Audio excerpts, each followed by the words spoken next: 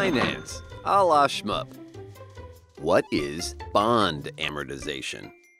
Okay, fancy term, easy concept. The basic idea is that you have to, quote, revalue, unquote, what a bond is actually worth each period which usually means twice a year because bonds pay interest on the, uh, you know, semester system. Yeah, twice a year. So let's say you've paid 700 bucks for a bond with a 5% coupon, which comes due for a 1000 bucks in 10 years. Over that time, you'll have received two things: the 5% per year interest from the bond in cash paid along the way, and the appreciation of the 700 bucks to become the $1000 par value, at which point it will eventually pay back its principal. So to amortize the $300 of appreciation of that bond over 10 years, while you could attribute 30 bucks a year in appreciation each year, such that after, say, three and a half years, you'd hold the bond as having appreciated 3.5 times 30 bucks or $105 in appreciation, making the bond worth at uh, that point in time $805. So yeah,